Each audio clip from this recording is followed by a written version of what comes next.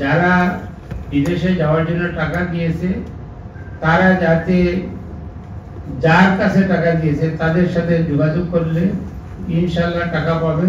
প্রায় দুই হাজার পঁচিশ জন কমপ্লেন করছে, তাদের ডকুমেন্ট সহ সাবমিট করছে।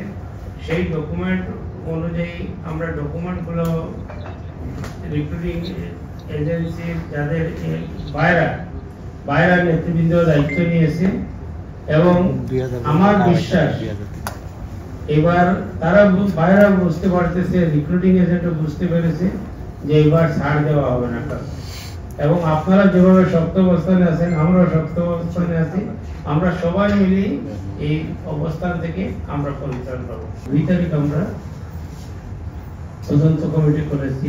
সেই তদন্ত কমিটির মাধ্যমে বাইরে এসেছে যে একশোটি এজেন্ট রিক্রুটিং এজেন্ট ছিল, সেই একশোটি কম বেশি সবাই কারও দশ জন কারও পঞ্চাশ জন কারও পাঁচশো জন কারও চারশো জন এইভাবে আমাদের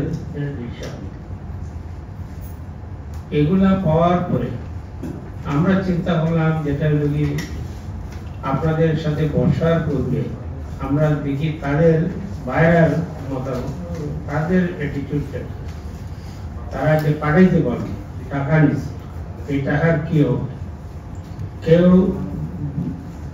বিকাশে টাকা দিয়েছে, কেউ নগদ টাকা দিয়েছে, কেউ দিয়ে দিয়েছে।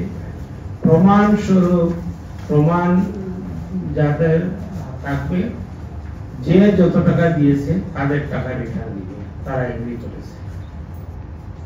সেটার জন্য আমি ভাবলাম যে একটা দাম তো আমরা মোটামুটি ভাবে আমরা এগিয়ে গেছি।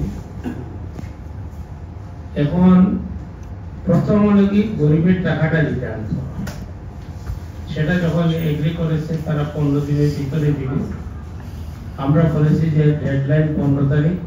পনেরো দিনের ভিতরে যদি আপনারা না দেন, তাহলে আপনাদের ব্যাপারে আপনাদের যে দিতে পারবে না তাদের ব্যাপারে আমরা আইনের ব্যবস্থা করব কাউকে ছাড় দেওয়া এরপরে কি অন্য ব্যবস্থা। প্রথম টাকাটা উদ্ধার হোক, এরপরে গিয়ে। যারা টাকা টাকা ফেরত পেলেও প্রায়োরিটি লিস্ট প্রায়োরিটি লিস্টে আগামীতে যখন আবার আমরা এই মাসের শেষের দিকে আমরা মালয়েশিয়ার সাথে ওয়ার্কিং গ্রুপের জয়েন্ট ওয়ার্কিং গ্রুপের মিটিং হবে সেই মিটিংয়ে মাধ্যমে আমরা আবার মালয়েশিয়াতে যাওয়ার রাস্তা আবার উন্মুক্ত হবে। তখন গিয়ে আমরা প্রায়োরিটি লিস্টে যাতে তাদের নামটা থাকে এবং সেই ব্যবস্থা করা।